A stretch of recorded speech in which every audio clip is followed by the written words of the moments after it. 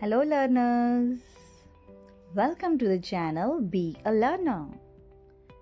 Today, in this session, I'm going to explain about the different verb forms. We have heard about the verb. What is verb? An action word which describes the action. For example, run, laugh, eat. These all are the actions. So, in grammatical language, it is known as verb. Now, let us understand what are the different verb form.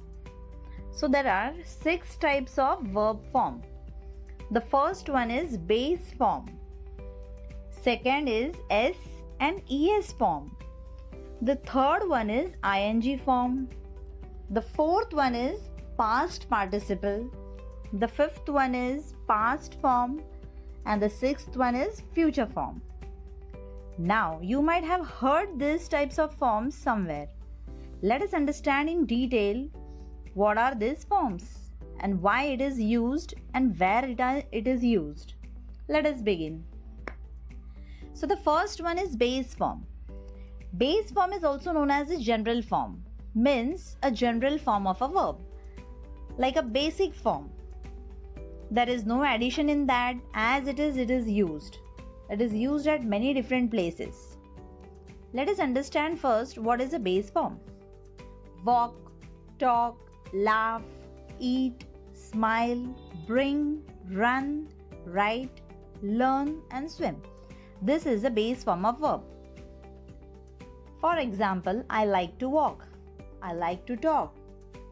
She likes to laugh he likes to eat.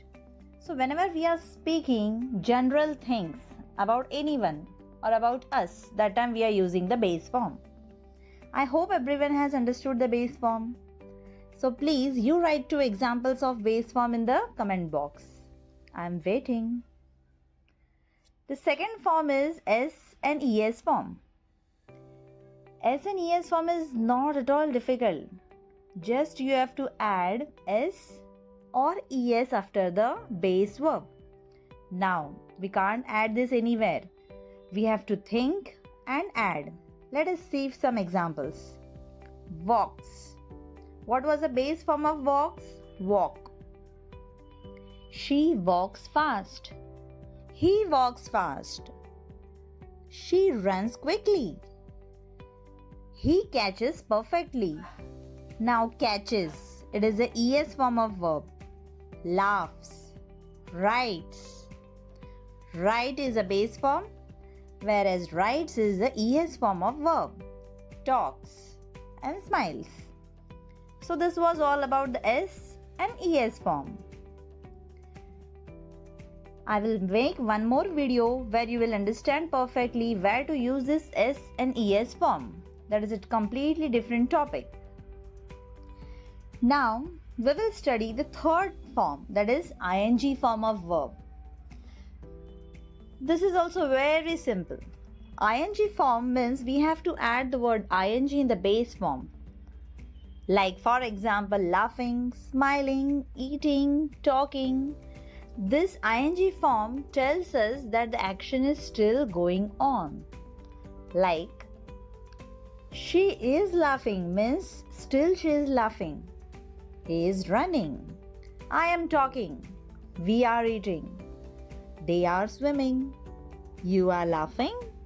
Yes, she is smiling. So, this is ing form of verb which express that the action is still going on. I hope you have understood the ing form of word. So, you write two examples in the comment box. I am waiting. Next, we are going to study about the past participle. Now, past participle is a form of verb it is used when the action is just completed. Like, I have written few notes. She has taken her dinner. I have given my notes to the teacher. Let us understand more example eaten, ran, done, driven, beaten, broken, flown, and drawn. So, past participle form, this action tells that the action is just completed. We have spoken to her. Okay? If you have understood the past participle, write down two examples in the comment box. I am waiting. Next, second last form that is a past form of verb. Now, don't get confused between past participle and past form. Past participle tells that the action is just completed and that's why we are using has or have with it. Whereas past form tells us that the action is completed long time ago in the past. For example, ran, woke, ate, slept, wrote, gave, smiled, threw. Now, one more important thing. Sometimes the word which is used in past form and past participle is same. I again repeat, sometime, not every time. I'll give you an example. Smiled. She smiled.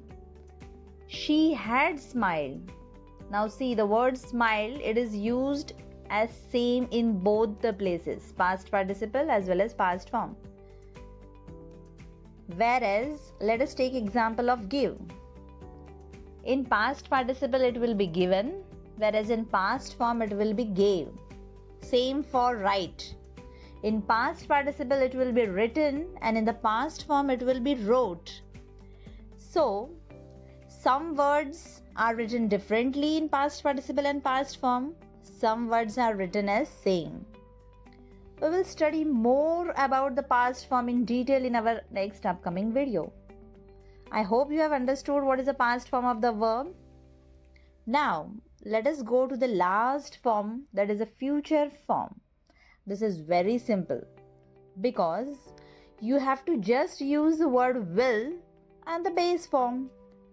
Now, where is future form used? It is used to tell the action which is going to happen. I will read your comments. I will talk to you. I will eat pizza in the evening. I will run tomorrow. After reading your comments, I will smile. So, these words are nothing but the future form which express the action is going to happen. And what you have to remember in the future form? Will plus base verb which we had studied earlier. The first type was base verb. Here just you have to add the word will. I hope you have understood all the verb form. I'm waiting for your comments. If you have not subscribed my channel, please subscribe. Thanks for watching. Have a beautiful day. Bye and take care.